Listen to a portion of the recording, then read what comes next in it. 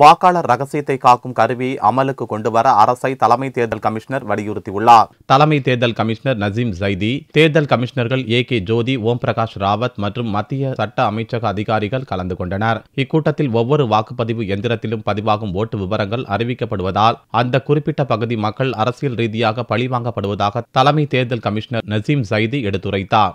வாக்காளர் ரகசியத்தை காக்கும் வகையில் பதினான்கு ஓட்டுப்பதிவு எந்திரங்களில் பதிவான ஓட்டுகளை மொத்தமாக எண்ண உதவும் டோட்டா லைசர் எனும் கருவியை அமலுக்கு கொண்டு வர வேண்டும் எனவும் நசீம் சைதி வலியுறுத்தினார். பத்து ஆண்டுகளுக்கு முன்பே இந்த கருவி தயாரிக்கப்பட்ட போதிலும் அதற்கு அரசு ஒப்புதல் அளிக்காததையும் சட்ட அமைச்சக அதிகாரிகளிடம் சுட்டிக்காட்டிய ஜைதி ஓட்டு எண்ணிக்கையில் டோட்டா லைசர் கருவியை பயன்படுத்தும் வகையில் தேர்தல் விதியை திருத்த வேண்டுமெனவும் வலியுறுத்தினார்.